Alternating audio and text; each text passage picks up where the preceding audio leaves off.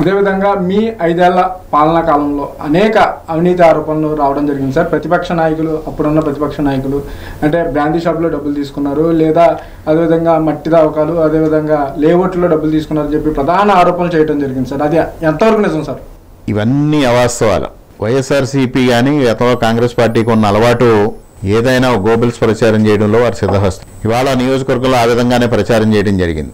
ఇవాళ ఈ సంవత్సరాల్లో జరుగుతున్న అవినీతి కార్యక్రమాలు ఎంత దారుణంగా జరుగుతున్నాయో చూస్తా ఉన్నాం. ఐదు సంవత్సరాల్లో నేను అనేక మార్లు ఆ రోజు ప్రతిపక్ష నాయకుడిగా ఉన్న వ్యక్తిని నేను అనేక మార్లు ప్రశ్నించడం జరిగింది నిరూపించమని. ఆయన ఏ రోజు వాటిని నిరూపించడానికి ముందుకు రాగా పదే పదే అవే ఆరోపణలు చేయడం జరిగింది. ఇప్పుడు ఆయన శాసనసభ్యుడు అయిన తర్వాత కూడా నా మీద ఆరోపణలు చేయడం మరీ విచిత్రమైన విధానం. సాధారణంగా అధికారం పార్టీలో ఉన్న వాళ్ళు ప్రతిపక్షం మీద విమర్శలు చేయడం అనేది ఎక్కడా బహుశా భారతదేశ చరిత్రలో చూడడం అటువంటి ఒక విచిత్రమైన పరిస్థితి అనపతి నియోజకవర్గంలో ఉంది.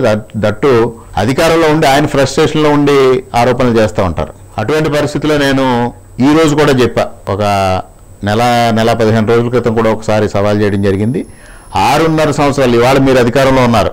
ఆరున్నర సంవత్సరాల్లో జరిగిన అవినీతి కార్యక్రమాలు మీ హయాంలో మా హయాంలో మీరు చేసిన ఆరోపణలు మేము చేసిన ఆరోపణలు అన్నీ కలబోసి అన్నిటి మీద న్యాయ విచారణ చేయించండి.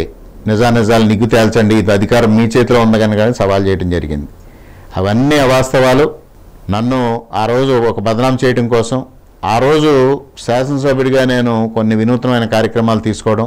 మొదటి సంవత్సరంలోనే ఆంధ్రజ్యోతి ఏదైతే ఒక సర్వే ఎవరైతే నూట డెబ్బై ఐదు మందిలో అందుబాటులో ఉంటున్న ఎమ్మెల్యే అనేది ఒక సర్వే చేస్తే మొదటి స్థానంలో నేను నిలవడం జరిగింది. తర్వాత సంవత్సరం చంద్రబాబు నాయుడు గారు ఎమ్మెల్యే సర్వే చేయిస్తే ఎవరు పనితీరు బాగుంది అనే దాంట్లో నేను రాష్ట్రంలో ఎనిమిదో స్థానంలో నిలవడం. అదేవిధంగా నేను మన ఇంటికి మన ఎమ్మెల్యే అని ఒక కార్యక్రమానికి శ్రీకారం చుట్టి ప్రతి గ్రామంలో ప్రతి ఇంటికి తిరగడం.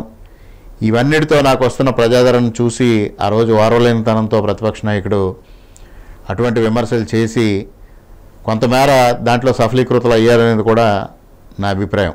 ఇది నా మీదే కాదు రాష్ట్ర వ్యాప్తంగా వైఎస్ఆర్సీపీ చంద్రబాబు నాయుడు గారి మీద కానీ లోకేష్ గారి మీద కానీ ఇతర నాయకుల మీద కానీ ఆ విధంగానే ఆరోపణలు చేశారు. వాళ్ళ వ్యూహంలో భాగంగానే ఇది ప్రతి చోట కూడా ప్రతి ఎమ్మెల్యే పైన ఈ విధమైన ఆరోపణలు చేశారు. వాళ్ళు దానిలో సిద్ధహస్తులు అనేది నేను మొదటే చెప్పడం జరిగింది. వాళ్ళు ఆ విధమైన కార్యక్రమాలు తీసుకెళ్ళడంలో చాలా సిద్ధహస్తులు.